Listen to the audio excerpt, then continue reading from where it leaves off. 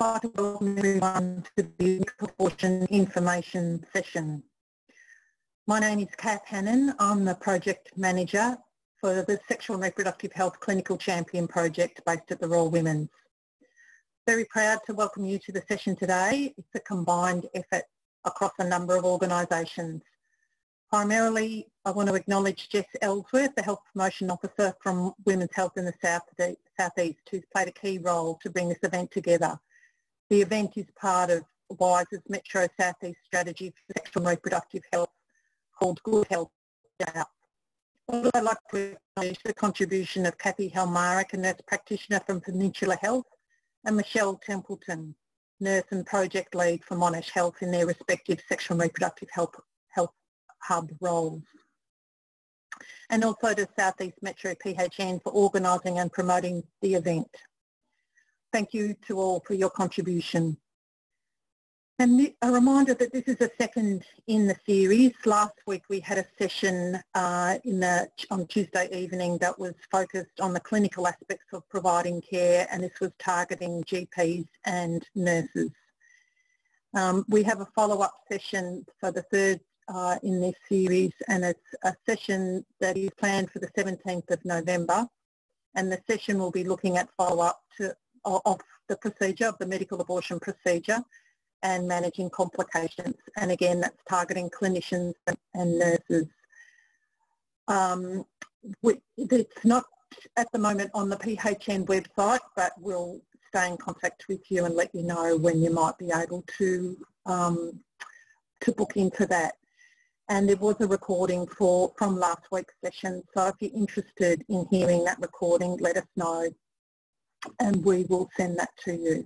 So our, our contact details will follow. Just firstly, I want to acknowledge, sorry, I'm just getting my next slide up. I want to acknowledge the traditional owners of the land we are on today as we participate in this, in this, in this webinar. In acknowledging country, I ask you to reflect on the country in which you are on today. I'm in uh, Northcote and I would like to acknowledge that this event takes place on the country of the Wurundjeri people. We pay, pay our respects to elders past, present and emerging and extend that respect to any First Nations people here today. We acknowledge that Aboriginal sovereignty has not been ceded and remains strong in their enduring connection to land and culture. Just turning to housekeeping and the way um, that we would like the webinar to work, we've allotted uh, just one hour actually um, not an hour and 15 minutes, so it's a short time slot. Just to remind you that you can't, you can see us, but we can't see you and you can't see one another. And we recommend that you use the speaker view for this presentation. So go to your top right hand corner of the Zoom and play around with the, the views that you see. So if you choose speaker view, you can see the main image is the PowerPoint and the small image is the presenter. We have a question and answer, answer session uh, at the end. Um, we've allocated some time for your questions and answers. So use the question and answer function during the webinar and we'll get to those at the end. Also the webinar is being recorded and we will send uh, the recording to you in the next couple of uh, days. So the purpose of the, um, the webinar today um, I'd like to welcome all participants here today. Uh, to the audience, we thank you for your interest in the event and taking the opportunity to explore your role in medical abortion service delivery and that of the practice that you represent. We know that primary care settings and particularly GP practices are key to safe, timely and accessible care for women and pregnant people. We also know that unintended pregnancy and abortion are common experiences that despite abortion law reform in Victoria and the availability of the medical abortion procedure, numerous gaps and barriers exist that limit, limit access and availability of the medical abortion service. Our intention is that this event will help break down some of those uncertainties about providing the procedure and facilitate your role and empower you in practice.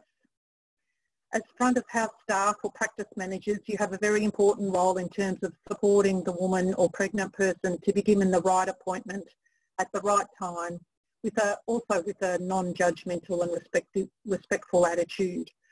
So this forum is an opportunity to reflect on your role and the thoughts and feelings and the work that is required to provide a medical abortion uh, service within your practice setting. Reception staff are at the front line and depending on the processes and procedures in your practice, you might become aware of your own challenges to your value set and feelings about the procedure. And I invite you to explore and examine your reactions during the session and into the future, perhaps with your colleagues in your practice setting. I'm aware that the abortion procedure has a long history of being shrouded in secrecy and shame for both the women and pregnant people who are thinking about or requesting this care or have had this care or for the clinicians who provide the care. That's why there's a need for forums like this. And the message is that unintended pregnancy and abortion is common and that abortion is, is another component of healthcare. Medical abortion is safe and effective procedure and an opportunity for women and pregnant people who choose it. And, and sorry, an option for women and pregnant people who choose it. So that's just putting it um, in context and I want to introduce uh, the speakers with us here today. Um, Dr Sarah Jeffs is a GP at the Rosebud Super Clinic and she'll be talking about integrating medical abortion into her practice. Carolyn Mockabell is the team leader from 1800 and she'll be talking about the role of 1800 and how women and pregnant people in the community can use the database to access services. And I am the project manager, Kat Hannon, the project manager for the Clinical Champion um, project and I'll be putting this work into a context. Um, and we, as I mentioned, we have a Q&A session um, at the end. And we've had a late change in our, in our running sheet for the list of presenters. And I'm going to hand over to Caroline um, Mockabell, who's the team leader for 1800, my options to talk about 1800. And then I'll talk a little bit about the context of this work and then hand over to Sarah. So I'll hand over to you now, Caroline, and I will stop sharing. Thank you, Kath. Uh, so I'll just wait for my presentation to come up, but I'll introduce 1-800 My Options for a start. So we are a service funded by the Victorian State Government and we have been active in Victoria. Uh, our service was first launched in March of 2018 and we've been providing a phone line and web-based service for people all across Victoria since then you could move to the next one, please, Jess. Thank you. So we are a free phone line that's open from 10 till 4 every uh, weekday, excluding public holidays, where somebody can call to get trusted evidence-based information about sexual and reproductive health, and particularly about abortion. Um, and people can also have a look at our website for evidence-based information and also to look at services that are near to them. We get up to about 100 calls every week from across Victoria. The calls come from people who are looking for services for themselves, generally women who are looking for abortion. We also get calls from their partners who might be helping them to look for a service. We get calls from GPs who are trying to help them find a service uh, in their local area and also from other practice staff like nurses and practice managers who are supporting their um, staff to be able to find a service that can meet the needs of their patients. Thanks, Jess. So of the callers that we have to 1-800 My Options, around over 70% of them are seeking an abortion and are under nine weeks gestation. So these people generally will be eligible for a medical termination. Uh, we know that of the 100 or so calls that we get every week, it, from the southeastern metro part of Melbourne, anywhere from 15 to 22% of our callers are coming from that area. And so we know that there's a significant identified need in southeast metro Melbourne for medical abortion services. Women tell us on the phones that they prefer medical abortion because of the privacy, being able to do it in the privacy and comfort of their own home. They prefer to see their GP, who they've got a trusted, ongoing relationship with, where they can get the continuity of care, more in, in preference to a hospital or abortion clinic. They see the procedure as being less invasive, and it's also far more convenient for a lot of women. They don't need to travel to a hospital or an abortion clinic. They don't need to think in as much detail about childcare, and generally, a medical abortion will be significantly lower in cost. But we do know that there are barriers to medical abortion. We know that in some clinics, a medication abortion can cost around $500, which is a significant amount of money. We know that in some areas of Victoria and of Melbourne, women will have to travel quite a far way to be able to access the medical abortion. We know that often MTOP providers don't advertise their services, which is completely understandable but it means that it's really difficult to know who to talk to or where to go. Without visibility of the system, women often end up travelling an hour to be able to find a service that isn't necessarily the appropriate one. We also know that there are sometimes significant delays. There's a lot of misinformation about medication abortion, both in the sector um, and in the community. And conscientious objection can also be a really significant barrier for some women. Thanks, Jess. So we work with primary care across Victoria to make the abortion and sexual and reproductive health system more visible to the people that are looking for it. So, with our phone line, when somebody calls us, we'll talk through their needs and then we'll provide them with information about where they can go to be able to meet their needs. We generally provide every caller with at least three services that they can contact to make an appointment to book in for the services that they're looking for. So, the ways that we work with primary care is that when we have our phone calls, we can refer the callers through to your services. Um, we don't we don't provide referrals to services that haven't registered their information on our website. And that's quite simple to do. You just go to the health professionals section of 1800myoptions.org.au, click register here and select which services you provide and you would like us to refer women to for you. People can choose to be publicly listed, which means that their information will be visible on our website, or they can choose to be privately listed. So only the people who are answering the calls will be able to see the information about the registration. Some services choose to have both a public and a private registration. That means that they might advertise publicly that they provide contraceptive services like uh, intrauterine devices, but they prefer to keep the abortion services like medication abortion privately listed. And that's a completely uh, useful thing. And we can make changes to the registrations quite quickly and quite easily. We can also work with primary care by providing information about sexual and reproductive health providers in your area if you have patients who are looking for services that aren't provided in your clinic. And you're also very welcome to refer your patients to our service. Thanks, Jess.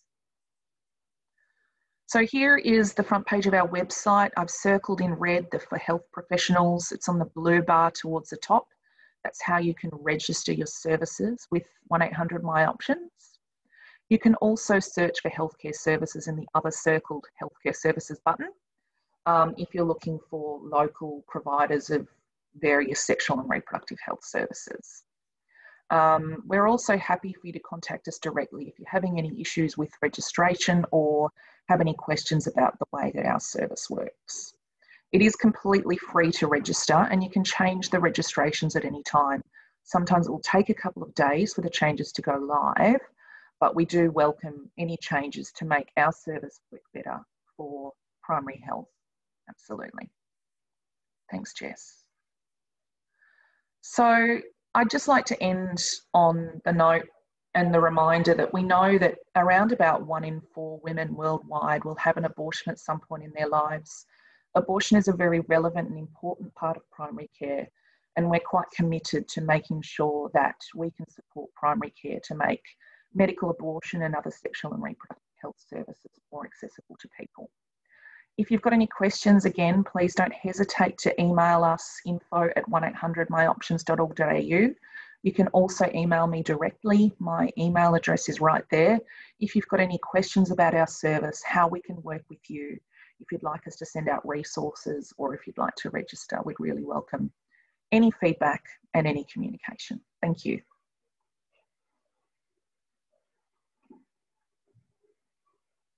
I'll pass back to you, Kath. Thanks, thanks Caroline. It's very uh, important to resource in the community to have that um, uh, from 1-800 My Options. Uh, sorry, and I'm just going to go. So thanks thanks for that. Now, as I said, this, the order's been slightly changed and normally this would be a bit of an icebreaker and, you know, if we're in the room together, it'd be an opportunity to put your hand up or walk around the room. But these, uh, I've left these questions in, um, but they're, really just a prompt to think about the content, context in which we are providing um, this level of care. So I'll just give you just um, a brief moment just to have a read of those questions and just think about your responses to them, They're true, false responses. If you've got someone next to you, you might want to have a quick chat around it. But just, uh, I'll just be quiet so just have a look at those questions. I'll just give you a brief moment.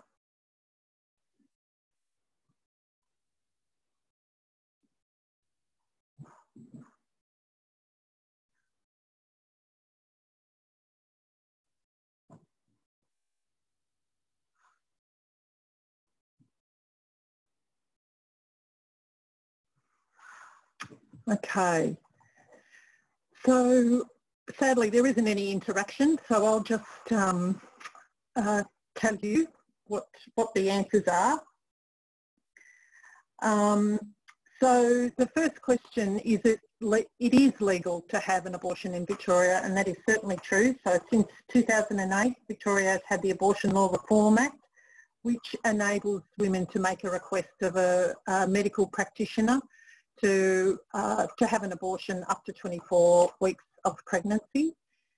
Um, and the law also has provision for conscientious objection. So if a medical practitioner um, makes a, a, judgment that they don't want to be involved in this level of care, the law um, allows them to do that, but they are obliged to refer to another provider that they know is not a conscientious objector. And in addition, um, uh, there, are, there is provision for safe access zones so that um, people who oppose uh, abortion provider are, are prohibited um, to um, uh, to have harassing or intimid intimidating behaviour within 150 metres of abortion uh, provider premises and that usually refers to standalone abortion providers. Um, the second question is um, people wouldn't need abortions if they were more responsible and my response to that is that no, contraception is 100% effective, that all contraception has some sort of side effect and it can take some time to find a suitable method. And in addition, that sexual behaviour is not always consensual or predictable. Um, there are times when women um, may not be in a position to negotiate safe sex either through lack of her, um, of her power and autonomy over decisions that have got to do with sex and that substances like drugs and alcohol will often get in the way of safe decision making. And the third question is most women seeking an abortion are aged between 16 and 20 years. Um, that's actually the research evidence is that is false, that uh, uh, although we don't keep uh, accurate data and often it's not publicly available and that's why 1-800 from My Options provides us some really useful uh, data. Um, and they're going on their data, the age group from 26 to 34 years is the most common group requesting a medical abortion service. So that's trying to debunk the myth that it's you know young um, young adolescent women who have made their sexual debut who are who have an unplanned pregnancy and requesting abortion services. The evidence is that they're they're not the most commonly represented requesting women requesting abortions. So why do we get in? Oh, sorry, not supposed to do that. Why do we get into a situation where abortion is required? So here we're talking about um, unintended pregnancy. The definition of unintended, pregnancy is um, pregnancy unplanned, untimed, or mistimed or unwanted at the time of con conception. And I've given you a hint there that uh, can you guess how many women have had an unintended pregnancy in her lifetime?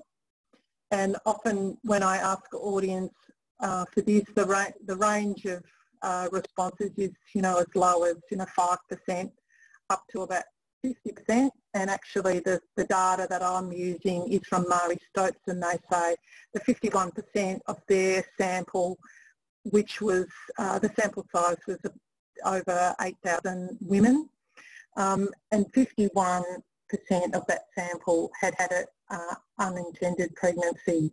Of course, not all of these pregnancies will go on to abortion, um, but at the very least an unintended pregnancy is likely to represent a challenge and a disruption in the lives of the people that are involved. And interestingly, just of this sample that Marie Stopes, um, from Marie Stopes' research, that they also found that 60% of this sample were using some form of contraception at the time that they got pregnant. So by using contraception, they're actually um, taking steps to actively avoid uh, a pregnancy. And we know that the type of contraception that um, people, uh, and mostly that uh, women in Australia are using, because it's women that generally contraception is designed for, are using um, contraception that is not the most effective at doing the job it's designed to do. So the pill and condoms are the most commonly used types of contraception in Australia. And both of these methods require a high degree of user input. For example, with the pill, in order to be effective, needs to be taken every day, needs a script and a supply, and there are rules around missed pills and interaction with other drugs. So they are actually not the most effective form of contraception. The set and forget methods such as Implanon, which is the implant or an intrauterine device or IUD, are the most effective and they're cheaper in the long run. But again, there are numerous gaps and barriers that limit women's options. Um, there are a limited number of clinics that provide these services. Sometimes there's a long waiting list. Um, women often um, rely on their GP to um, make a suggestion about um, um, IUD as a, a, form of contraception and the GP themselves might not have accurate up-to-date information to be able to promote this method to women. So unintended pregnancy is an all too common uh, outcome and that's why we have a need um, for abortion. So as we've seen, abortion is a common experience uh, for women and for women who are requesting uh, an abortion. In theory, uh, surgical and medical abortion methods are available and best practice is to support choice of method but in reality, availability is a bit of a lottery. Abortion services are at best patchy. Um, it depends on the woman's capacity to pay uh, and where the person lives. Um, in reality, the choice of method is a trade-off between personal preference and their resources to hand and what's available in the local area and beyond. And this is where GPs come in. GP services are important because they're often the first point of contact to confirm the pregnancy, to explore choices, and if the decision is to end the pregnancy, ideally the woman or pregnant person would be offered the option of uh, a medical abortion at that point of care. Feedback from the women who have had a medical abortion in general practice is that they experience high levels of satisfaction, appreciate the convenience and continuity of care and the connection to the cl clinic and the provider provides a context, context of comfort and trust. And I'll just finish by saying that the GPs provide a range of sexual and reproductive health services such as contraception care, uh, cervical screening, STI screening, and perhaps antenatal care. And I would argue that abortion is just another component of healthcare in the spectrum of sexual and reproductive health services. So thank you for that. I'm going to hand over to Sarah Jeffs, who will be talking about uh, her experience of providing a medical abortion service within her clinic.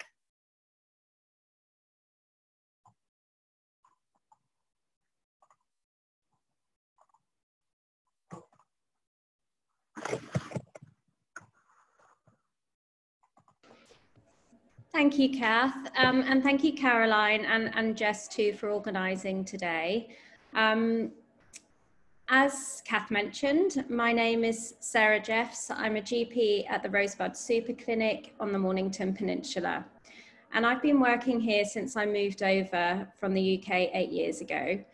Today, I'd like to share my experience of being a provider of medical termination of pregnancy in general practice and the model of care that I use. Thanks, Jess. So um, I'm sure most of you will have had some experience of this patient, whether you're booking them in for an appointment at reception um, or taking their observations in, in the treatment room or seeing them as a GP or later in, the, in a pharmacy. This woman has an unplanned and unwanted pregnancy. Um, and as a GP, we're often the first contact for these women. Now, we can all make a difference in these women's experience, um, being empathetic, non judgmental, listening, and giving her the space to ask questions. We can all do this, um, whether or not we choose to become providers of MTOPS or not. Thanks, Jess.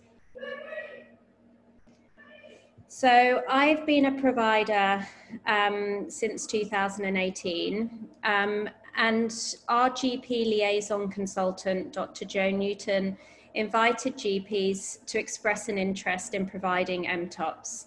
And this was their response to broadening access to women for termination of pregnancy in our area. The strategy being to provide uh, medical terminations in the community with the support of the early pregnancy assessment service at Frankston Hospital. Thanks, Jess. So the reasons I became a provider are that I'm interested in all aspects of women's health. Um, and I've been a provider of contraception and antenatal shared care for a number of years and naturally wanted to include pregnancy advisory and, uh, and, and managing unplanned pregnancies in what I could offer. Having worked in the area too for a while, I recognised the need on the peninsula for this service. I was also keen to help accessibility given finances can be an inhibiting factor for many. And I'll go on on my next slide to talk about the costs, um, which Caroline has also alluded to already. I organised, um, I recognised too that I could provide close follow up and reviews and felt well supported by the extended team through Peninsula Health Frankston Hospital. Thanks, Jess. So this is a slide of the local services to us on the peninsula. Um, so Hampton Park Women's Clinic um, provides both medical and surgical terminations, but as you'll see from the costs there, you're looking at between 400 to up to um, 700 um, for medical and then surgical. Um, Marie Stopes, um, a medical termination will cost in the region of $560 um, and a surgical 500. Um, Family Planning Victoria um, do pro provide medical terminations and are more reasonably priced. They are currently just doing all of that through telehealth um, and are bulk billing those telephone appointments. But you will be, um, women will be looking to pay for the ultrasound and the script fee. Um, when they're consulting face to face again, it will be a $275 charge. And there is some med Medicare rebate with that. So as far as with the public health services, Monash Hospital is our nearest that provides a surgical termination service um, and they do four a week, but they really do um, try to um, keep these to be able to cater for teenage pregnancies, um, victims of domestic violence um, and women with pension and healthcare cards. Um, the Royal Women's Hospital is obviously the other um, hospital that offers the surgical termination service. Um, thank you, Jess. So, um, so having decided I wanted to offer medical terminations, I embarked on the training. Um, so from memory, it took about two to three hours and it is free of charge. It is on the Marie Stopes website, which I've detailed there. Um, I then met with our local pharmacist um, and asked if they would consider registering to become a registered dispenser. Um, it's important to have these relationships quite strong um, so that and, and so that you can communicate regularly with one another. Um, I also had a meeting with the facilitators of the Peninsula Sexual Health Hub, which include Kathy Helmaric at, um, at the um, who, who's the women's health nurse practitioner through Peninsula Health. Um, and we, as a practice, discussed this service in our GP practice meeting. And at this stage, it was really important to recognise individual staff members' personal views and beliefs. Um, we were very respectful to members of staff's views, um, and we all um, agreed to support women getting access to appointments with me um, and the information that they needed. We discussed how to book women um, inquiring about this service in a timely and sympathetic way. Lastly, I recognised as um, I registered as a provider with 1-800 options, um, um, and um, which Caroline has talked about. Now, we decided that um, we would continue with our contraceptive services being openly listed with um, 1-800 My Options, but the medical termination service um, was a private listing, which meant that patients would need to ring to get um, our details from speaking to, their, to them. Uh, thank you, Jess.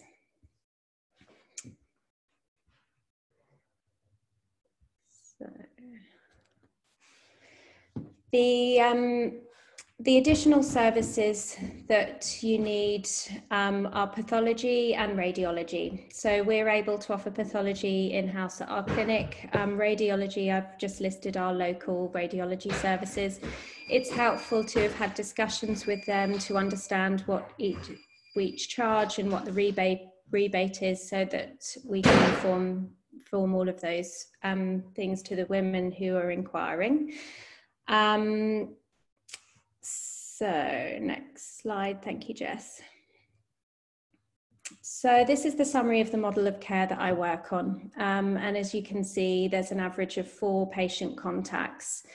Um, now, I currently do those myself, um, but there's certainly scope um, within general practice world to be using your practice nurses, and if you're lucky enough to have nurse practitioners um, for these steps, for some of these steps um, and work together. So I have an, initial appointment, a second appointment where the um, women receive their script.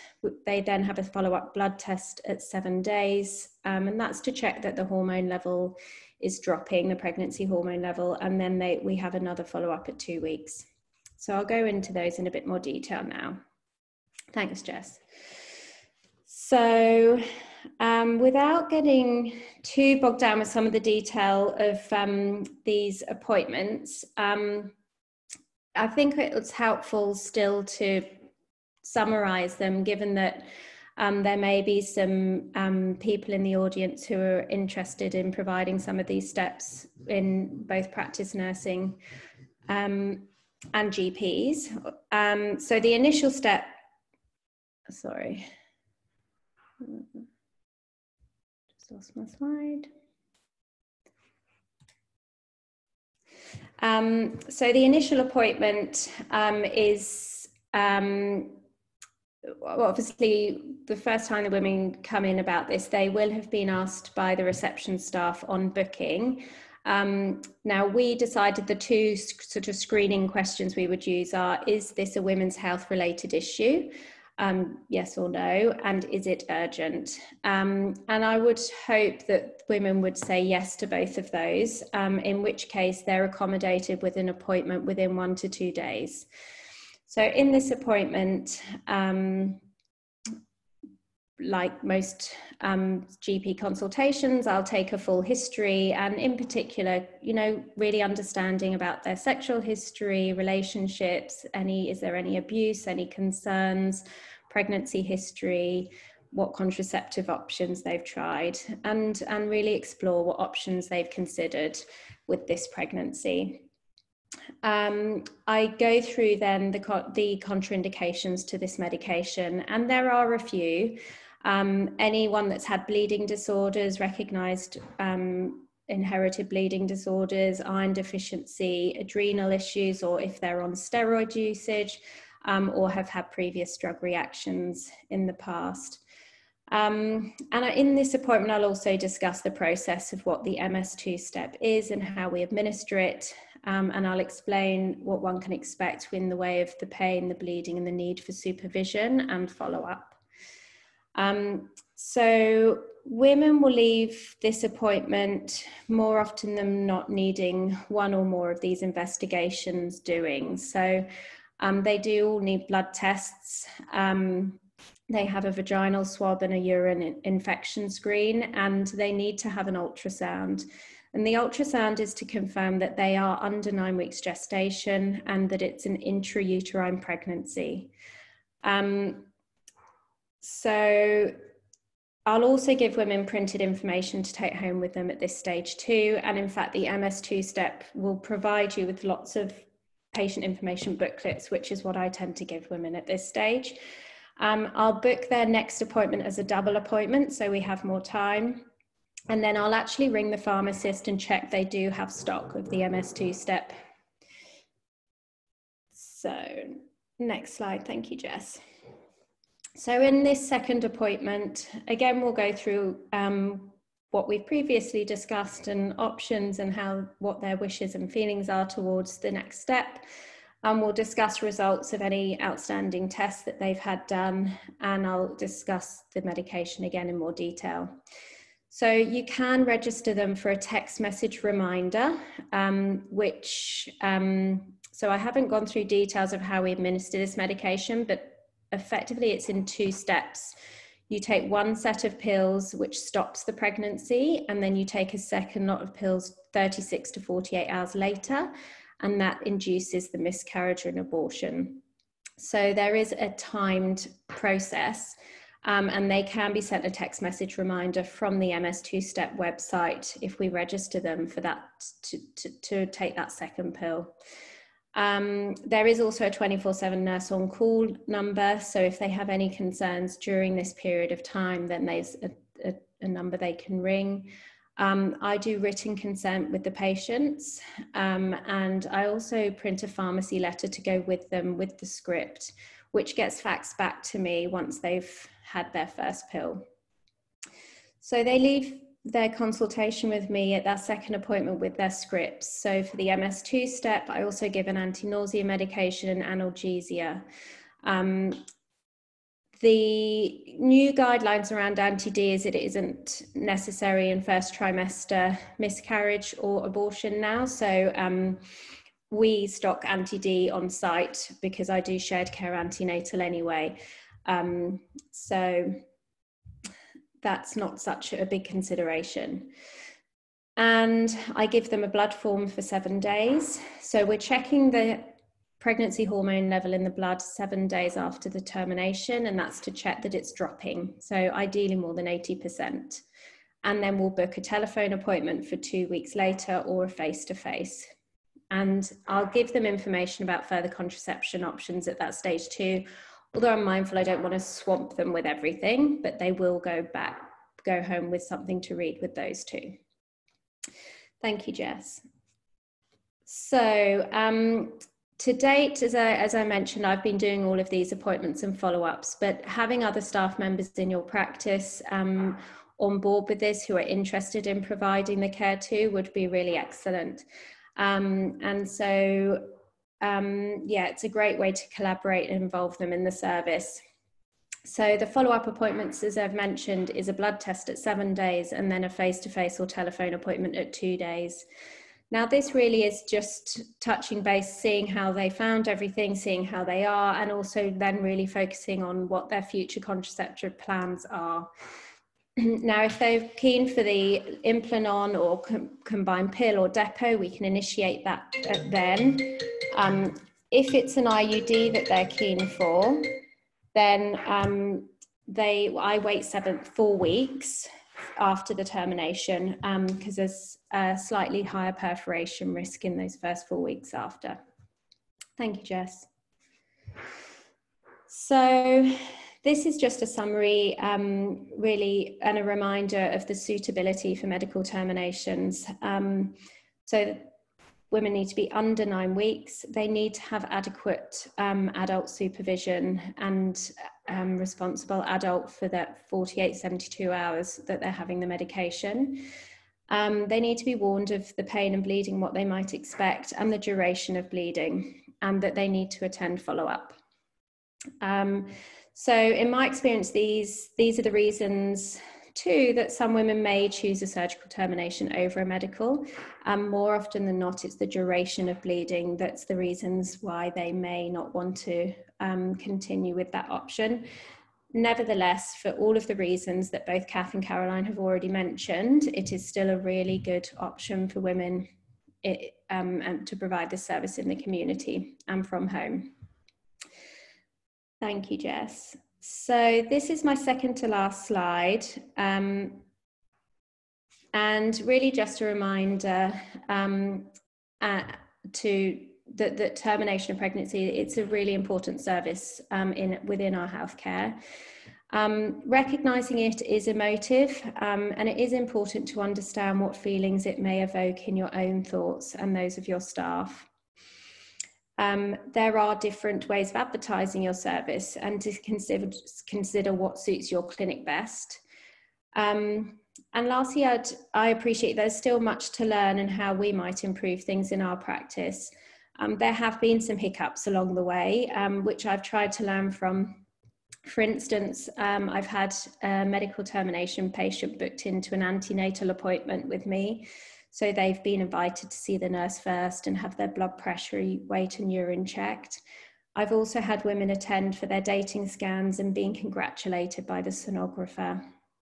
So we can't always control for these things, but I have reached out to our local ultrasound providers and I always make a point of writing on the forms unplanned and unwanted pregnancy and also specifying if the if the patient does want does or doesn't want to see um, the scan images and hear the, the fetal heart. And thanks, Jess. Next slide. So this is my last slide, um, but my first slide too. And really the take home message is that we can all give comfort and confidence to women facing an un unwanted pregnancy. Um, it would be great to join together to provide a more extensive community medical termination service um, with the help of our gynae colleagues in secondary care. Um, the training isn't onerous um, and is free of charge. Um, and so, yes, I, I, would encourage all GP practices to consider offering this service. Um, and it, if, if it isn't something for them, then to, to have a good grasp of what the local services and providers are um, can make such a difference. So, thank you for your time.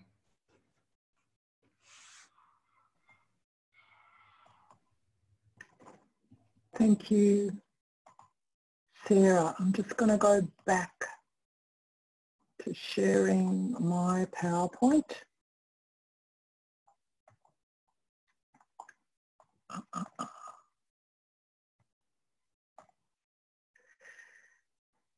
Thanks so much, Sarah. It's, I think it's really important to hear your experience, your very practical experience of um, the rationale uh, by which you've arrived at the need to provide this level of care and the model of care that um, you provide within your clinic because it is a um, it, it, it is a process. Having a medical abortion is a process, um, not just in, you know, starting from decision making and as you described, involving a couple of other services such as radiology and pathology so that all the investigations are to hand within the consultation and then following through right, right through to completion.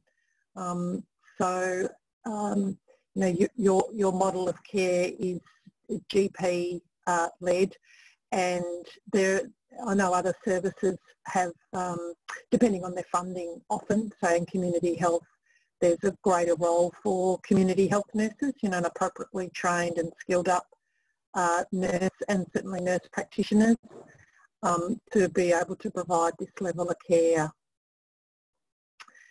Um, and you talked also about training um, and that is uh, the training uh, through Marie Stopes and that training is directed to uh, medical um, uh, practitioners um, and pharmacists as well.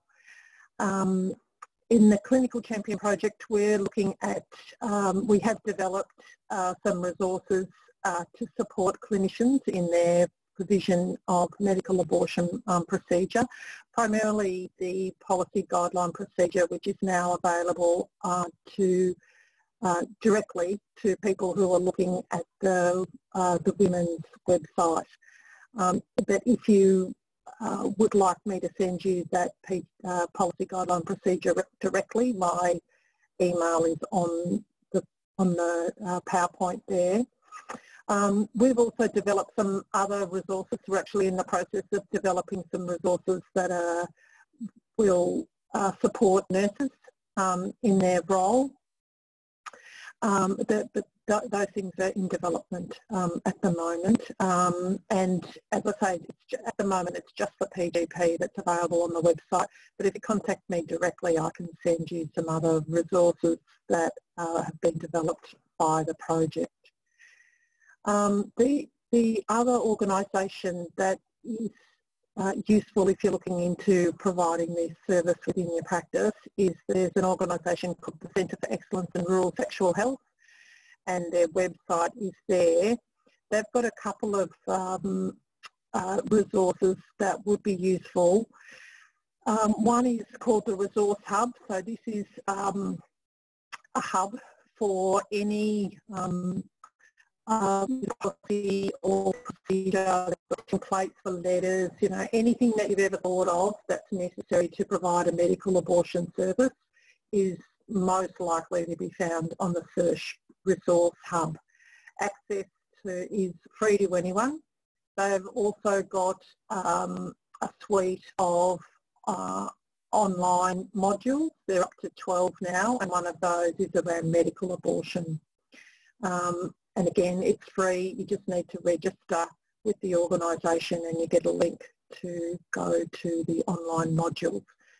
Um, so that's particularly relevant to nurses because at the moment there's currently no um, sort of resources that uh, provide um, education and training to nurses and, and that's why we sort of we felt that it was necessary to put the policy guideline procedure avail freely available on our website. Um, uh, so take down that, those contact details and we will, uh, I'm happy to be in touch to talk with, with anyone. Sorry, I just realised that that was like that. Um, so I'm going to go on to questions and answers and I'll just try to get the chat function um, up. Oh. Sorry. Can you help me here, Jess? It, the, the function, oh here it is. It moves around the screen and it gets confusing. The last time I looked, we didn't have any que questions. Yeah, no, so we haven't no got questions. any questions. Um, so is that because people are thinking that it's um, I suppose I'm curious as to what people might be thinking, whether this is relevant, where there's a form, forum within your practice where you could have this conversation with others or you know what's led you to being here and unfortunately in this sort of format you know I can't see you I'm assuming there's people listening but um, I'm interested in uh, any feedback about how relevant or what would support practices to be able to provide this level of care. Do you need more convincing that it's, it's a necessary component um, of care? And because we've got time, got 10 more minutes.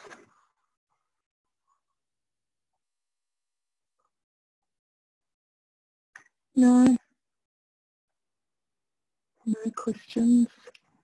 I don't think there was anything in the chat either, was there, Jess? There is a question in the Q&A. Um, oh. Someone has asked, I'm concerned oh. about the costs involved in general yeah. practice. Yeah, yeah. So that's the cost to the woman or pregnant person requesting that care. Uh, if that's right, well, Sarah might be better off talking to this because she's got her own experience, but that, that is a, identified as a barrier because there isn't an MBS number that will cover this, this level of care. Yeah, yeah, to the practice. Yeah, do, do you want to talk about that, Sarah? I think that you're in a better position. Yeah, sure. So, um, I mean, uh, my own experience is that I am um, working in a bulk billing practice. Um, so the consultations that I referred to in um, in my talk are um, all bulk billed. So the costs that the um, that women have to to um, prepare themselves for will be the cost of a scan um, and the and the cost for the script. but if they are on a pension or healthcare card, then they do get a slight concession on the scan, um, but you're still looking at about $150 for that. Um, and the script, if they're on a pension or healthcare card, is about five or six dollars. So, um, I, mean, they're out of pocket maybe between 150 um, to 180 um, in total.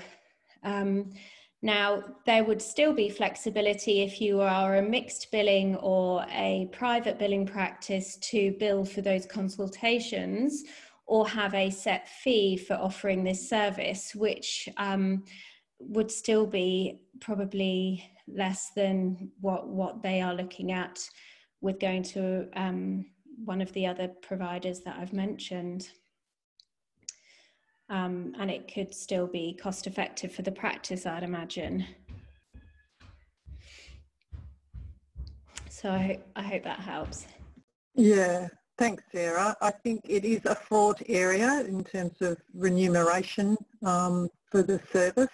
Um, the, the, there is another MBS item which is 4001 and uh, for a GP um, that is around um, uh, the doing the pregnancy options counselling. They need to do some training to, and to be accredited and registered with um, a, as an MBS provider of, of that particular number. Um, but the GP will know that and and there's criteria around it too. But that can offset the cost of some of the early consultation around um, decision making to go ahead or not with a, a, medical abortion procedure that can be factored in as well. If you're interested, I've done a, um, a, a, a, document that outlines the framework for um, medical abortion care and integrating that into um, a GP practice or, or an outpatient setting. So I'm happy to send that to you if you just send me an email and I'll send it to you. And I suppose it's also worth mentioning that um, there's various efforts on behalf of advocacy groups. Um, SPHERE is a, a Centre for Research Excellence grant and one of their research components is around abortion and they are advocating um, to um, through uh, particularly the minister, the federal minister for health for MBS, uh, coding for medical abortion and various other efforts. So the, the issue that you raise is a common concern.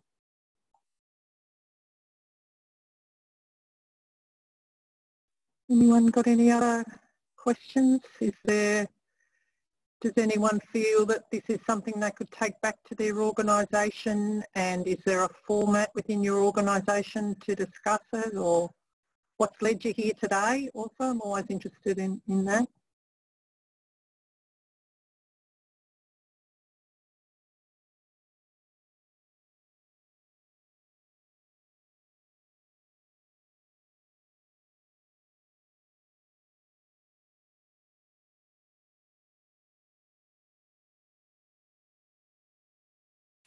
Sorry, I'm just talking to myself there, sorry.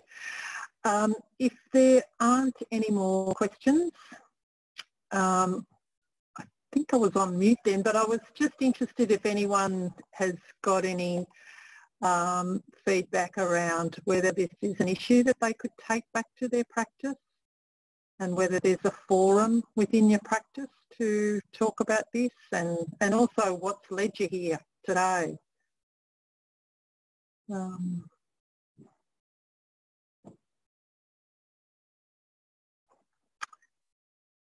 no, I couldn't see anyone typing and no hands going up. So I'll thank you all for your participation today. Um, thank you to the speakers today, to Sarah and to Carolyn. I think it's been really useful to have your experience of what it what the need is in terms of the information from 1-800 and also Sarah, your, your experience of integrating medical abortion into your practice. Um, as I said, there's various resources available. So if you're interested um, and if you feel like you could do with some more support uh, around having this conversation in your practice or other education and training um, opportunities, my email is on the, the screen and also there's Jess from WHISE as well. So it seems like there's no more questions, so I'm winding it up now.